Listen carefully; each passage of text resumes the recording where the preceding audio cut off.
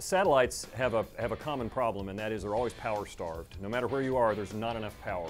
And conventional solar power comes from rigid deployable arrays, typically with cover glass. Uh, they're somewhat fragile, easily damaged during packaging, and it's difficult to get a lot of power in a small spacecraft, which is the current generation of CubeSats and ultra-small spacecraft. What we're doing in this test is we're demonstrating the ability to take uh, next generation very flexible solar arrays, fold them, package them into a very small volume, and deploy them once they're in space so that you can get a large surface area and generate a lot of power from a small volume.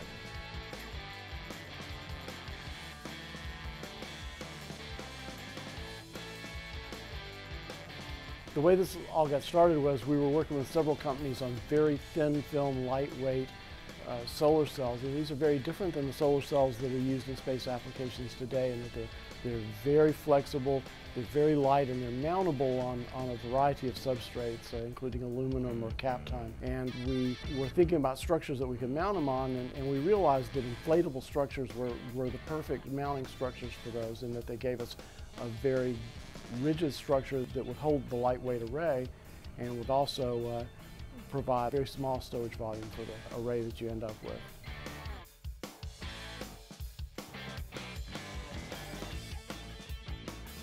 The unit you see came from a concept study that we did for a microsat that uh, would implement a, a, telescope application. And so we took the concept design that we had and actually built a test article out of it the silver substrate pieces that you see aren't printed with solar arrays, but we had one actual solar cell that we uh, attached to the petal, instrumented, and we did a flash test of it in the beginning, and we wrapped it up for deployment. Now we've done the deployment, and we'll do another test to assure that the deployment hasn't damaged it in any way.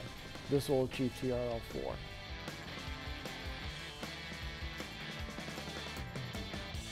There are a lot of applications for this technology. We envision that you could use this inflatable or deployable solar array system, everything from CubeSats, which are the very small 10 centimeter by 10 centimeter spacecraft, which are typically very, very power limited. Something like this could be packaged in about a third of the volume and inflate to something this size, providing unheard of power for small sats, primarily in low Earth orbit. You could also take this technology and use it for human exploration in deep space and deploy incredibly large, think size of this room or bigger arrays packaged into something smaller than the table.